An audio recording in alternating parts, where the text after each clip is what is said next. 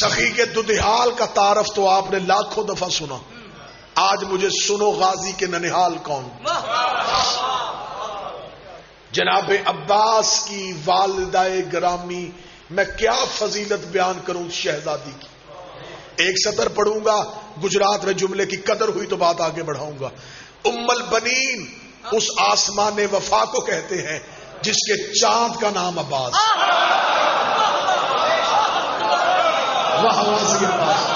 شکریہ شکریہ بادشاہ حسین عزت عطا فرما۔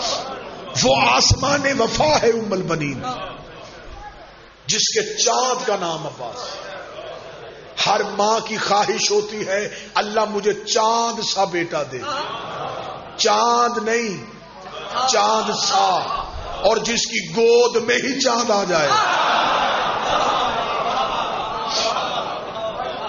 ان پڑھوں کے گھر میں پڑھا لکھا ہونا کمال نہیں۔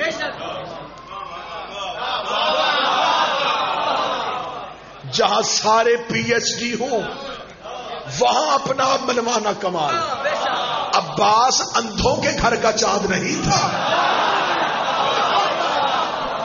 عباس اس گھر کا چاند ہے، جہاں نبوت کا سورج تھا، جہاں امامت کا چاند تھا، جہاں حسن کا چاند تھا، جہاں کریمی کا چاند تھا۔ اتنے سورج اور چاندوں کے درمیان اپنے آپ کو بنی ہاشم کا چاند کہلوانا عباس کی حاصیت کمرے بنی ہاشا والدہ گرامی جناب فاطمہ کلابیہ کنیت بی بی کی امل بنی، لقب بی بی کا امل کرامہ کرامتوں کی ماں۔ موضوع پسند ہے یا نہیں ہے؟ ایک معلوماتی مجلس آپ کو سنانا چاہتا ہوں، سرکار عباس کے حوالے سے۔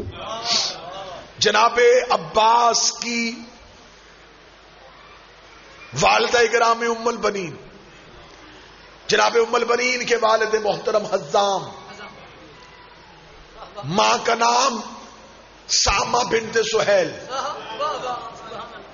دادی کا نام آلہ بنت شہید یہ وہ برگزیدہ ترین خاندان تھا کہ جناب ام البنین کے نانا، ان کو عرب کہتے تھے ام الانسان نیزوں سے کھیلنے والا۔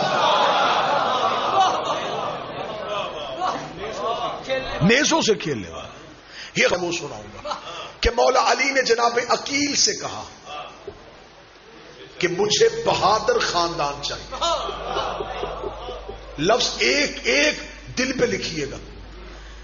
بعض بندے ممبر پہ بیٹھے، میں خود سن رہا ہوتا ہوں، وہ کہتے ہیں کہ جناب علی نے کہا مجھے بہادر خاتون چاہیے۔ نہیں، خاتون کا لفظ علی نے استعمال کیا۔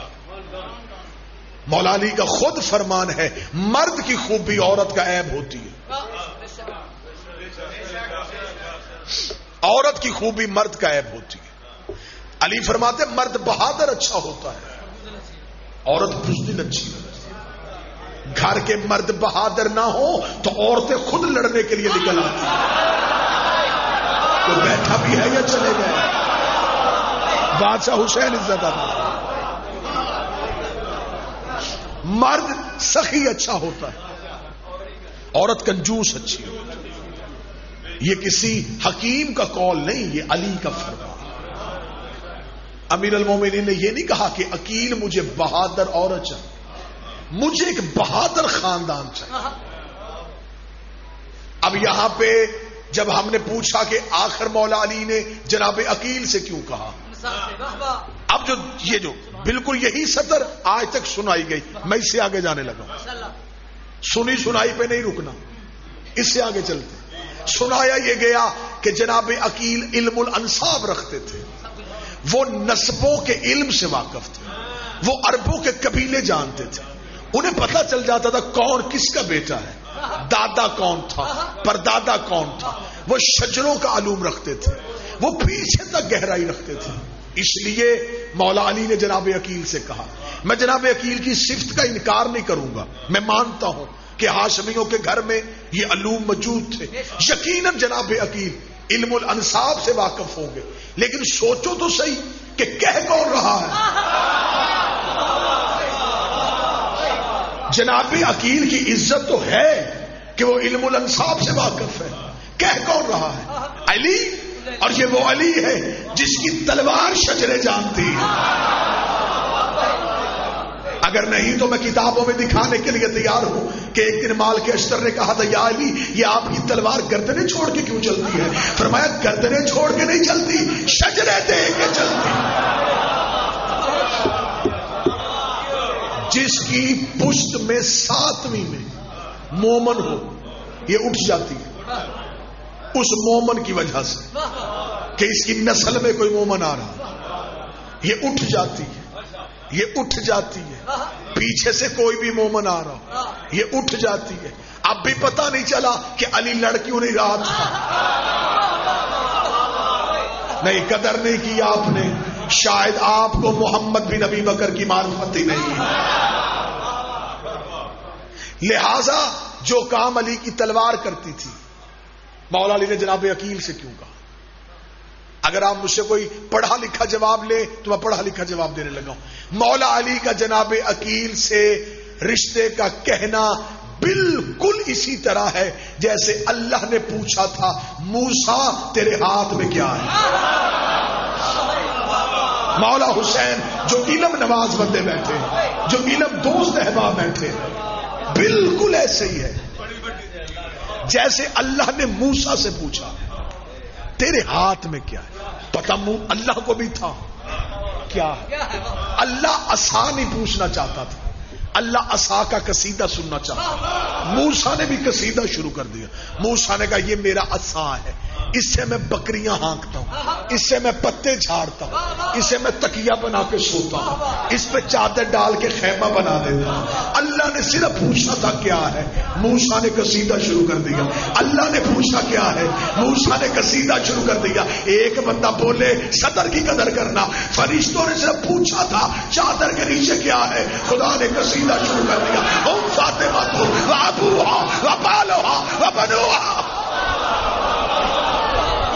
یہ زہرا یہ زہرا کا باپ۔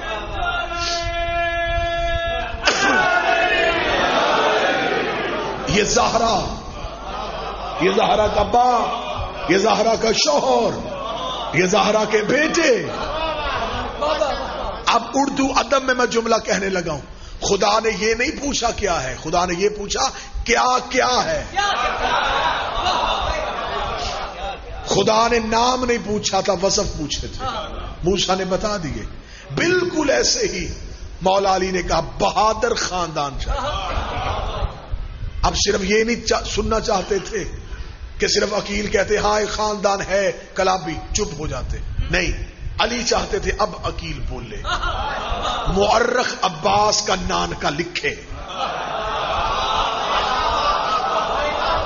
کس خاندان کا چشم و چراغ ہے میرا بیٹا؟ اللہ نے فرمایا، عقیل وہ کون ہے؟ جب عقیل نے آنکھیں بند کر کے کہا، واللہ میں ایسے خاندان کو جانتا ہوں، جن کی عورتیں طیبہ بھی ہیں، طاہرہ بھی ہیں۔ وقت کی تنابیں مجھے مجبور کر رہی ہیں، ورنہ اشرا پڑھوں میں حضرت عباس پہ۔ مجھے بول کے بتاؤ، کتنی طیبہ ہوگی وہ بی بی؟ کتنی طیبہ ہوگی جس کی ماں نے اس کا نام ہی فاطمہ رکھا۔ فاطمہ نام بتا رہا ہے کہ بی بی اسم با مسمہ ہے۔ میں ایسے خاندان کو جانتا ہوں جن کی عورتیں طیبہ بھی ہیں طاہرہ بھی ہیں۔ اے علی وہ ایسا خاندان ہے کہ ان کے مردوں سے عرب ڈرتے ہیں۔ ان کی بچوں کی آنکھوں میں جلال ہوتا ہے۔ ان کے بچے ماؤں کی گود میں نیزوں سے کھیلتے ہیں۔ اب یہ قصیدہ پڑھ رہا ہے جناب عقیل۔ جناب ام البنین کے خاندان کا۔ لمبا قصیدہ پڑھا، بہت پیارے پیارے اشار ہیں جو جناب عقیل نے پڑھے۔ مجھے یہی پہ نہیں رکنا، بات آگے لے کے چلنی اللہ نے فرمایا، عقیل جائیے، اس گھر سے رشتہ پوچھیے۔ اب جناب عقیل گئے حزام کے ہاں۔ اور عرب دستور کے مطابق تین دن مہمان رہے۔ ہاں یہ عربوں میں دستور تھا بڑے خاندانوں کا شرفا کا دستور تھا۔ شرفا کا یہ دستور تھا۔ یہ مہمان آتے ہی ایک دن میں واپس چلا جاتا، اسے توہین سمجھتے۔ آج تو ہمیں انتظار ہوتا ہے نا کہ جلدی جلدی کیا نوش فرمائیں گے۔ تو آپ کتنے بجے تک نکل جائیں گے؟ شرفا کا دستور تھا کہ مہمان کم از کم تین دن کر رکھو تاکہ اسے ہمارے خسائل کا پتہ چل سکے۔ کسی کے گھر جاؤ تو پتہ چل جاتا ہے کہ خصلتیں اور عادات کیا چاہتے تھے حزام کی عقیل تین دن رکے۔ عرب دستور کے عین مطابق تقاضا شرافت کو مد نظر رکھتے ہوئے۔ جناب عقیل تین دن متوجہ ہے موضوع پہ کہ تین دن تک مہمان رہے، تیسرے دن جناب حزام اب آئے۔ اب جو جناب حزام نے جملہ کہا، میرے اندر جملہ پڑھنے سے پہلے ٹھنڈک آ رہی۔ جناب حزام جناب عقیل کے پاس آ کے بیٹھے۔ آ کے کہتے، اے رئی سے مکہ!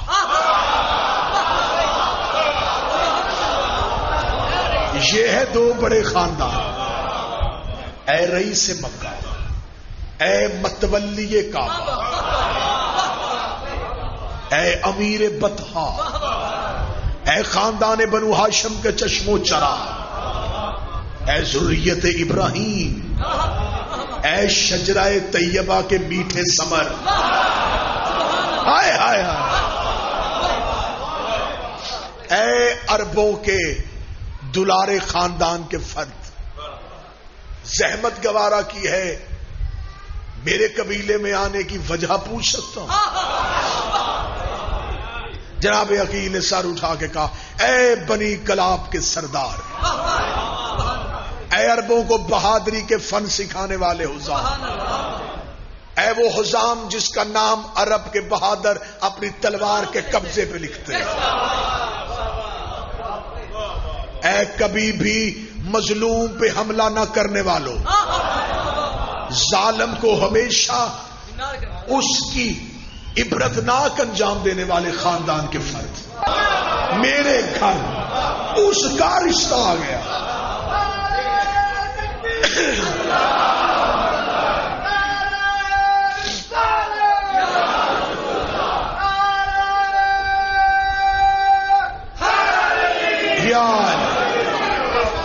موضوع پسند ہے سرکار؟ میرے گھر اس کا رشتہ آ گیا۔ جو تیرے گھر آئے۔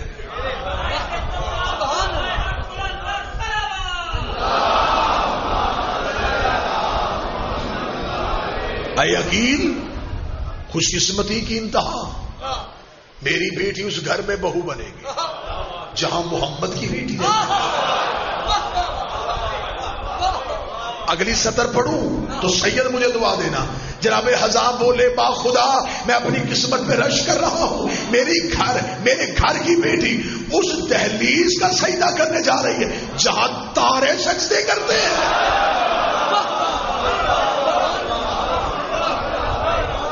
یہ کہہ کے پھر حزام بولے۔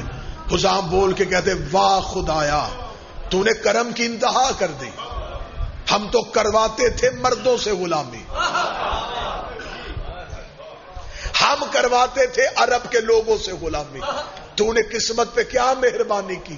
آج میری بیٹی وہاں جائے گی جہاں ملائکہ نوکری کر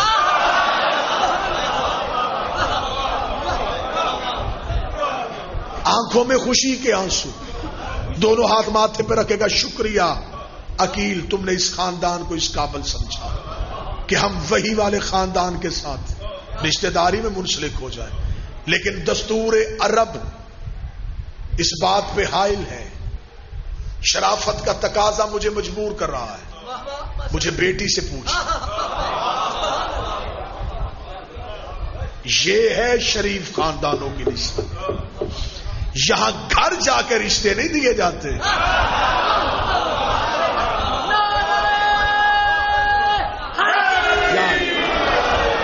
یہاں منتیں کر کے رشتے نہیں دیے جاتے۔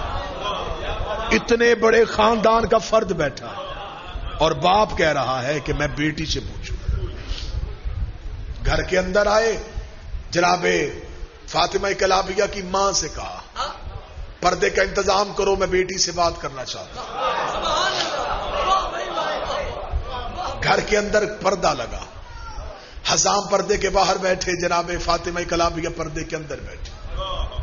جناب حزام نے آگے کھڑا کیا، ام البنین کی ماں کو۔ کھڑا کر کے کہا، پوچھئے بیٹی سے کہ ہمارے مہمان خانے میں عرب کا بہت بڑے خاندان کا فرد عقیل، اپنے بھائی علی ابن ابی طالب کا رشتہ لے کے آیا۔ آپ اس رشتے کے بارے میں کیا کہتی ہیں؟ اب سطر سننا اور دلوں میں عباس کی مودت کو سمندر بنا دینا اتنا کہنا تھا کہ جناب فاطمہ کلابیہ پردے کے پیچھے سے بولی۔ دیکھ کہتی اے اما جان ہمارے خاندان کی مستورات کو یہ خبر نہیں ہوتی کہ ہمارے مہمان خانے میں کون مہمان ٹھہرا ہوا ہے۔ ہم اس بارے میں کبھی دلچسپی نہیں لیتی کہ ہمارے مردوں سے کون مرد ملنے کے لیے آیا ہے۔ مجھے اس بات سے غرض نہیں کہ تین دن سے وہ کون سا عزت فرد ہے جو ہمارے گھر کا مہمان بنا ہوا ہے؟ لیکن اما میں یہ جانتی ہوں، آج تیسری رات ہو گئی۔ ہر رات ایک بی بی میرے اجرے میں آ رہی ہے۔ ہر رات ایک بی بی میرے اجرے میں آ رہی ہے۔ اما میں اس کے چہرے کی زیارت سے محروم تھی۔ اما، یہ جو کل والی رات گزر گئی ہے، جب وہ بی بی میرے اجرے میں آئی، اما، مجھے عزت قبیلہ کی قسم ہے۔ وہ بی بی اکیلی تو نہیں تھی، اس کا ایک پلو مریم نے اٹھایا ہوا تھا۔ ایک ہوا نے اٹھایا ہوا تھا، ایک آسیا نے اٹھایا ہوا تھا، ایک سارا نے اٹھایا ہوا تھا۔ وہ بی بی میرے قریب آئی۔ اس نے اپنے ہاتھ سے ایک چاند نکال کے میری گود میں رکھا اور رکھ کے کہا، مبارک ہو تو میرے بیٹے کی ماں بن رہی ہے۔ تو میرے بیٹے۔ تو میرے بیٹے۔ ماں بن رہی مبارک ہو۔ تو میرے بیٹے کی ماں بن رہی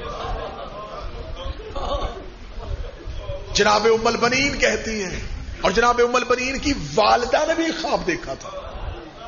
میں جناب امل بنین کی والدہ کا خواب سناؤں گا، پھر امل بنین کا خواب، پھر حقیقت عباس اور آپ کو سلام۔ جناب امل بنین کی والدہ گرامی کہتی ہیں کہ میں نے خواب دیکھا تھا۔ ابھی امل بنین دنیا میں نہیں آئی تھی۔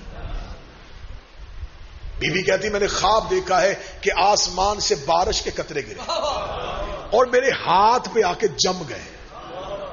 اور ایک ہیرے کی صورت اختیار۔ بی بی کہتی میں نے خواب میں مٹھی کو بند کر لیا۔ صبح کو خاندان کے سب سے بڑے بزرگ کے پاس گئے۔ جا کے پوچھا، خواب کی تعبیر بتائیے۔ بزرگ نے ماتھا چوم کے کہا، اللہ تجھے ایک بیٹی دے گا۔ جو بہت با عزت اور با نصیب ہو۔ مٹھی بند کرنا اس بات کی تعبیر ہے، اس کی حفاظت کرنا۔ جناب فاطمہ کلابیہ دنیا میں آ گئی۔ اس بی بی کی جو کنیت ہے نا، امل بنین امل بنین کا ترجمہ ہے بیٹوں کی ماں۔ یہ شادی سے پہلے بھی امل بنین تھی۔ یہ بات میں نے ممبر سے بڑی ذمہ داری کے ساتھ کہی ہے۔ بی بی کی کنیت شادی کے بعد، بیٹوں کے ہونے کے بعد۔ امل بنی نہیں ہوئی۔ بی بی کو شادی سے پہلے قبیلے کی عورتیں۔ امل بنین کہتی تھی۔ آپ مجھ پہ سوال کرے کیوں؟ جیسے ماں کو خواب آیا تھا، ویسے ہی بی بی کو خواب۔ بی بی کہتی اما میں نے خواب دیکھا ہے۔ میں اپنے گھر کے سہن میں بیٹھوں آسمان سے تین تارے اور ایک چاند ٹوٹا۔ وہ چاند میری گود میں آ گیا۔ تاروں نے میرا طواف کیا۔ بی بی نے بیٹی کا ہاتھ پکڑا اسی بزرگ کے پاس چلی گیا جس سے اپنا خواب پوچھا تھا۔ اب وہ زیادہ ضعیف ہو چکے تھے۔ جا کے کہا خواب اب میری بیٹی نے دیکھا ہے۔ اب بتائیں اس کی تعبیر کیا ہے۔ انہوں نے ماتھا چوم کے کہا اللہ ایک چاند دے گا تین اور بیٹے دے گا۔ جو تیری گود میں آیا ہے وہ چمکتا ہوا چاند۔ قبیلے میں مشہور ہو گیا چار بیٹوں کی ماں۔ امل بنی نام مشہور ہو گیا۔ عقد طے ہوا۔ نکاح خود علی نے پڑھا۔ ڈولی آئی سادات کے دروازے سیدوں کے دروازے پہ بی بی امل بنین کا آنا تھا۔